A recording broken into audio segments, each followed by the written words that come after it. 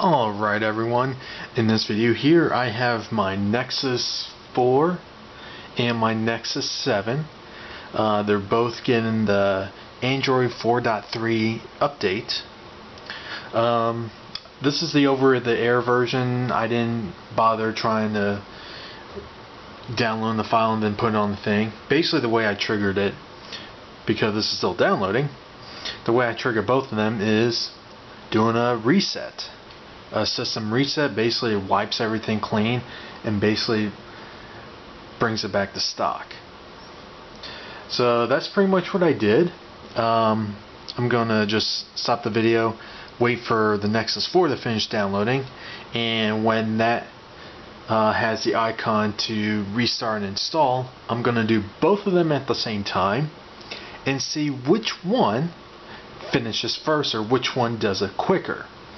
My guess is going to be the Nexus 4 just because it's a newer device and it just has a faster processor. Uh, I guess I won't have to stop because this is now done. So let's uh, do this at the same time. One, two, three. It's doing it. Let's uh, sit back and uh, watch. Let's see which device finishes first.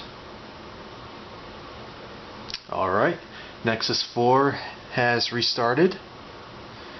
Now it's the Nexus 7. Uh-oh. Now, the difference in the file sizes between the two the Nexus 4 version, I think was like an extra 10, 15 megabytes of extra files.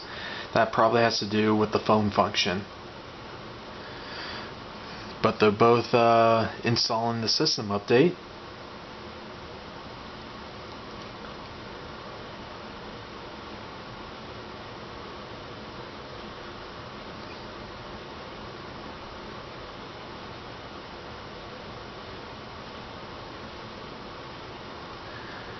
They're both still going.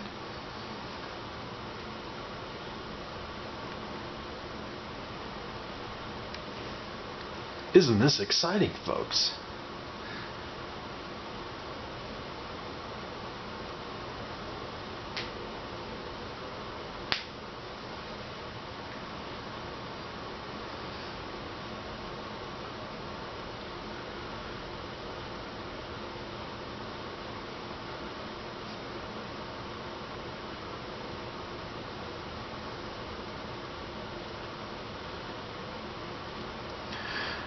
Seems like the progress bars are about the same, honestly. At least I can't really tell the difference from the angle I'm at.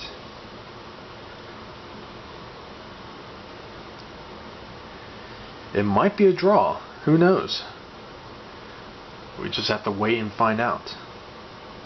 And I'm doing this in real time. I'm not going to be, I'm not editing this video at all.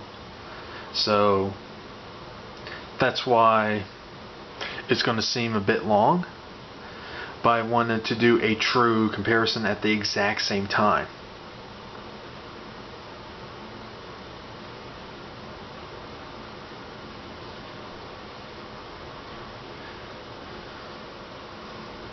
I think the Nexus 7 has a newer model that recently came out. So the one I'm using right now is the first generation model. The one with the Integra 3 chip in it.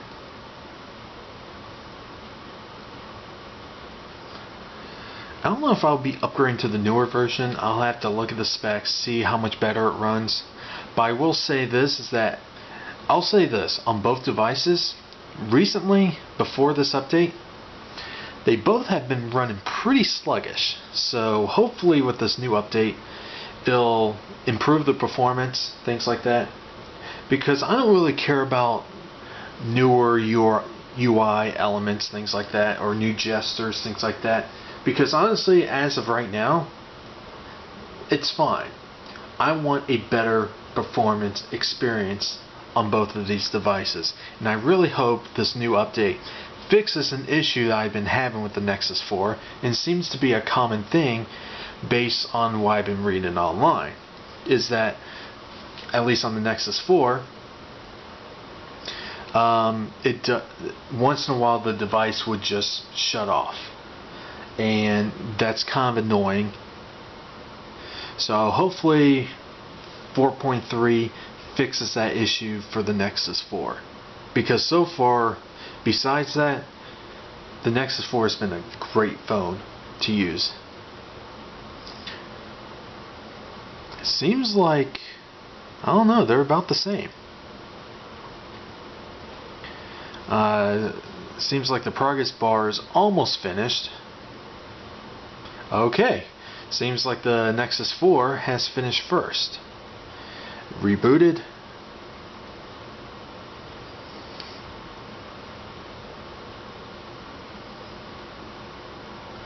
One little gripe that I always have with the Nexus 4 with this boot up screen is that the X itself isn't centered. It's actually it's centered from top to bottom, but from left to right is actually towards more towards the right side of the screen.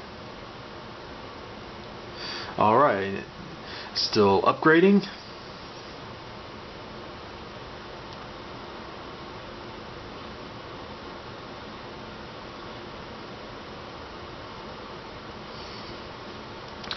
It seems like the Nexus 4 is going to be finishing first. But we'll see what happens. This is not really scientific or anything, but it just gives you an idea of which one does it quicker. So it seems like the Nexus 4 is going to be finishing first. Unless it has to reboot itself.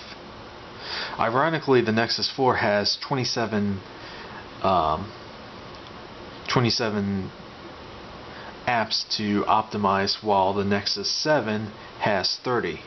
So obviously as you can see the Nexus 4 has finished first but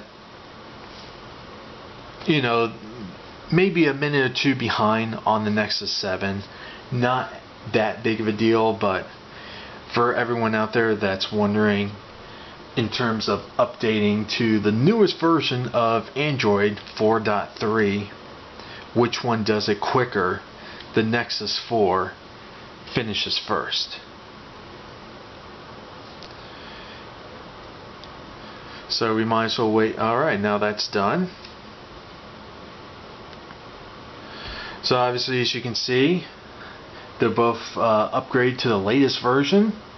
Now I have to go in put in all my settings, things like that. So hopefully you enjoyed this video. Like always, have a good one. Uh, like this video if you're not a subscriber. Hit the subscribe button. I really appreciate it. I don't really say that too often, but I really do appreciate it. Like always, have a good one.